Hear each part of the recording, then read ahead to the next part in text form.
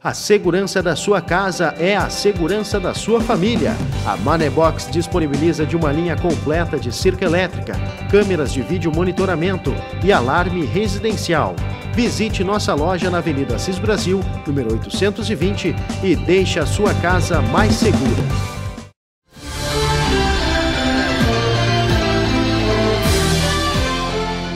Confira agora as principais notícias do Brasil e do mundo na Lagoa TV. À véspera da votação da segunda denúncia contra o presidente Michel Temer, a estratégia do Palácio do Planalto, a exemplo da acusação por corrupção passiva, tem sido usar a liberação de emendas parlamentares e a nomeação de afiliados políticos em cargos no segundo e terceiro escalões do executivo para conquistar mais votos.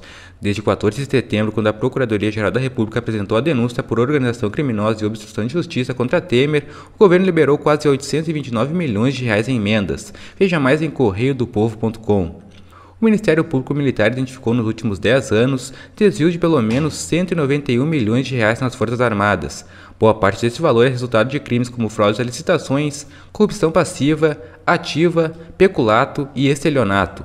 O valor é resultado de um levantamento feito pelo UOL com base em informações repassadas pelo Ministério Público Militar. Veja mais em diariodocentrodomundo.com. Após a sequência de chuvas ter prejudicado o acesso às lavouras nos últimos dias, o plantio da soja deve se intensificar a partir desta semana no Rio Grande do Sul. Os atrasos ainda são pontuais, já que o grande volume de implantação ocorre em novembro. Mas os produtores que queriam iniciar a tarefa na semana passada tiveram que aguardar a redução da umidade para colocar as máquinas na lavoura. Veja mais em correiodopovo.com. O titular da Secretaria de Segurança Pública, César Schirmer, anunciou que o primeiro Batalhão de Operações Especiais da Brigada Militar será enviado para reforçar o policiamento ostensivo em Gravataí.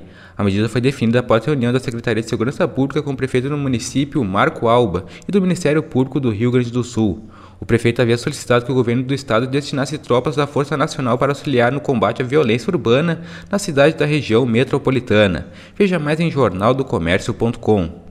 Essas e outras notícias você confere no nosso site www.lagoatv.com.